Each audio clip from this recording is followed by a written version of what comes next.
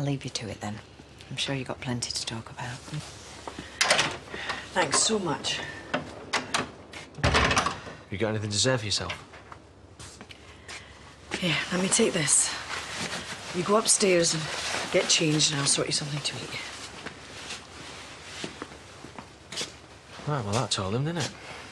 I guess we owe you a big thank you. Ah, don't be daft. I'm just glad he's safe. Whether we like it or not, we're family now, aren't we? And he's a very unhappy little boy. Convinced that nobody wants him. I know charity's hard work, but it's going to really mess him up if you throw him out. Thanks again. See ya. Did she make me feel any worse? Hey, he's back. It's over. Yeah. You can't unhear the things I said, though, can he? It's not like anything you said wasn't true. Yeah, which is worse. Look, have you met his mum? He'll bounce back. Sorry, I'll... No, no, no, you're all right. I was going to make you something to eat, wasn't I? But we need to have a wee talk. I'm grounded, uh... Just a little bit. I'm going to ask your mum if she wants to stay here when she gets out. Me as well. Oh, no, no, no, no, no. You'll be out in the cowshed. Don't listen to him. Yes, you as well. The pair of you can stay here until you get sorted. You, you can't go anywhere anyway, can you? If you're grounded. Hey, Chas, Dan said it went well in court. Yeah, great. I'll be back out in a minute. I'll take it you're not having a pudding? Doubt it. He's looking to be out of the house. Send me go. Yes, please. Can I go to the toilet? That depends, doesn't it? How big are the windows in the men's? Yeah, go on. Looks like we're going to have a full house again soon, though. Oh, why? Against my better judgment, I said that Charity could come and stay. Just for a few weeks until they get sorted. Is that wise? I thought you'd be all for it. Well, I'm a bit wary after recent experiences.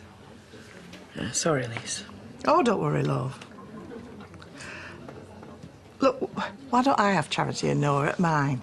There's just me and Belle there rattling about. Aye, but it's just another load of upheaval for Noah, though, isn't it? I'd have thought you were used to it. He shouldn't have to be, should he? No, thanks, Lisa, for the offer and everything, but they'll be fine at ours. I trust him. Yeah. Mm. I trusted Zak.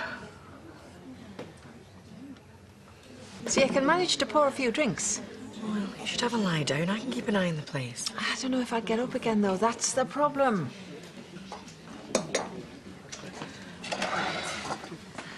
Oh, no, hang on, hang on.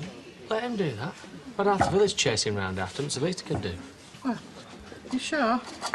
Oh, careful you don't drop it.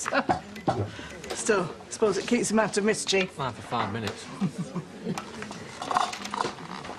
Not giving you a hard time, are they? Do you want me to have a word? Duff them up a bit for you? No, it's all right. I can handle them. Right, well, you only have to say. I might be small, but I've got a mean right hook. have you um, spoken to your mum? Not yet. She says she's going to call me tonight, if she can. Right. Well, when you do, could you ask her to send me a visiting order? I'd like to see her again. I thought you two argued last time.